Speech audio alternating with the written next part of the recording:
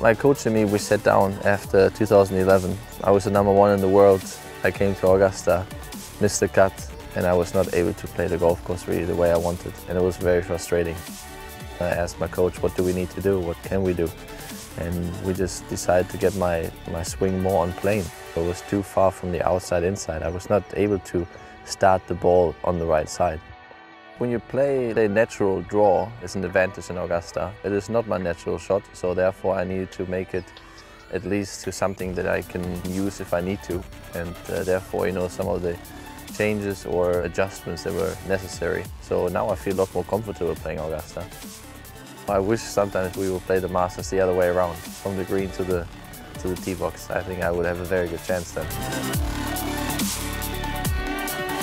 My feet alignment is a little bit right of the target, depending on how much I want to draw the golf ball. Let's say we want to draw 10 yards. So my feet alignment should be 10 yards right of the target. My, my club face is pointed at the target. And then I, I just swing my feet alignment along so that the club face does really the work for me because it's a little bit closed. And this is something that you need to practice a little bit, how much you close it. It's a feel thing. I put the ball a little bit further to the left. I try to hit it a little bit later. Um, yeah, so I give it a go.